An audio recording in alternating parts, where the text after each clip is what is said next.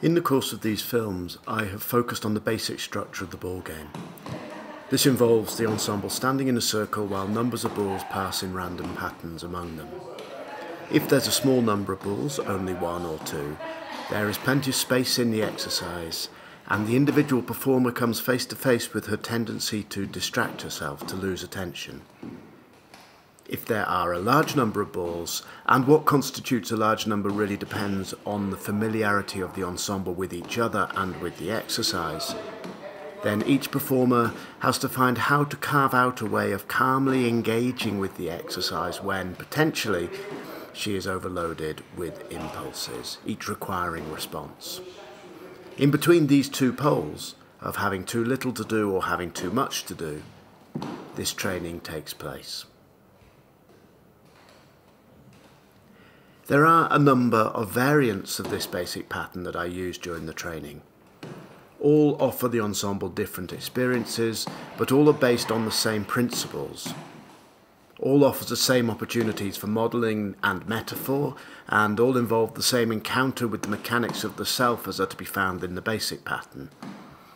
The point of varying the basic circle pattern is not primarily to learn new things, but to allow the ensemble to experience the same learning in slightly different contexts.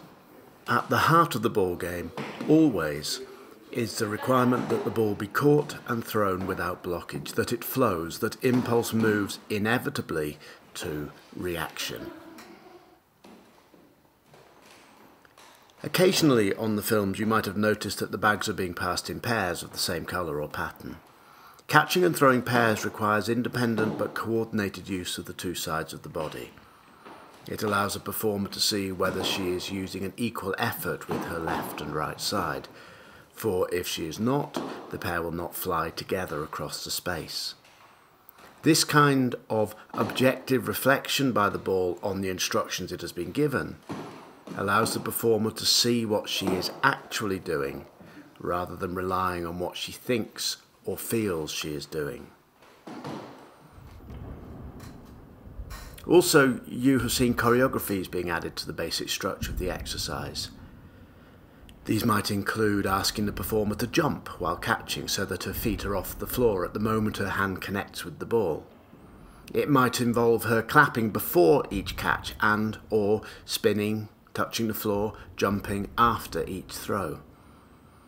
It might involve her lifting the foot opposite to the hand she's catching with from the floor at the moment she catches, or perhaps jumping when the person next to her catches the bag. Each of these choreographies require the performer consciously to sequence her thoughts and, once she has done that, to allow that sequence of thinking to become an embodied set of actions.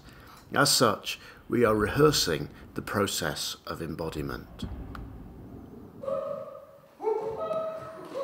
Introducing the voice into the exercise employs a different set of thinking functions and allows the performer to encounter a different set of distractions. Simply making a sound at the precise moment of catching integrates sounding with physical action. Asking that the group harmonise together while catching and throwing without allowing their interaction with any individual ball to disrupt the smoothness of their sounding requires both intense listening and an ability to keep vocalizing constant while physical actions are perhaps jagged and sudden. To introduce speech is particularly interesting. It's very revealing to experience the difference in engaging with the reality of the ball game, based as it is absolutely in the moment while trying to describe in detail a dimly remembered landscape from one's youth, or holding a genuine conversation with someone across the circle. It requires the coordination of two quite distinct areas of the brain. It is not only interesting for a performer to experience so clearly the complex workings of herself, it also allows her to rehearse working with memory or recollection while remaining absolutely alive to the ebb and flow of impulse in the moment. It is also useful to work the exercise in pairs. In this example, the performers are asked to jump, touch the floor, then spin after each throw. The result is that by the time they have finished their choreography, the ball has almost returned to them. They emerge from their spin and must immediately see and catch a ball that's only a couple of feet away and travelling fast. This exercise demands high levels of hand-eye coordination and reactivity. As soon as a performer blocks her reaction to the ball through fear, self-doubt, annoyance at the quality of the throw she's responding to, she will not be able to complete her catch. The journey from impulse to reaction will have been interrupted. This version of the exercise also illustrates how being helpful, which here would usually take the form of doing long, slow, high throws to your partner that she would have plenty of time to respond to, being helpful deprives your partner of having a full experience of the exercise. In trying to be helpful, one simply destroys the intention of the work. An enhanced version of this pair's work is to use a pair of bags, so that on emerging from her spin, the performer needs to respond to two impulses, both in an instant.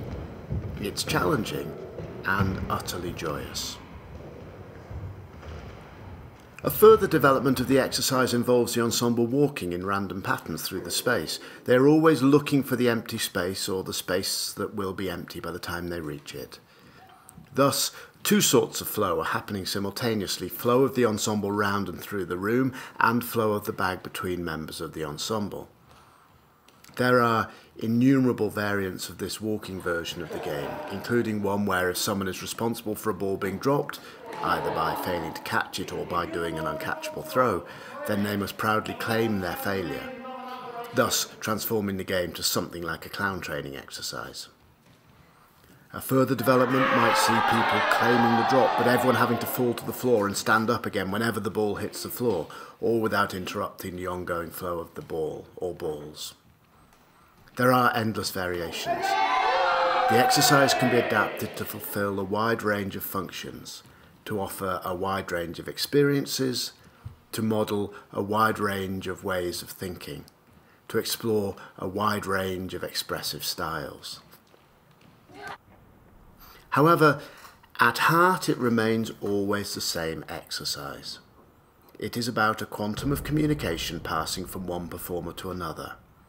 In receiving and passing that quantum of communication, charting the journey from impulse to reaction, the performer encounters herself. She views that encounter through a set of simple but rigorous principles which offer her healthy ways of reflecting on herself and developing. Each member of the ensemble working through those principles within the exercise enables each other member of the ensemble to have their own experience of the exercise. We learn by enabling others to learn. In developing the self with others, we become ensemble.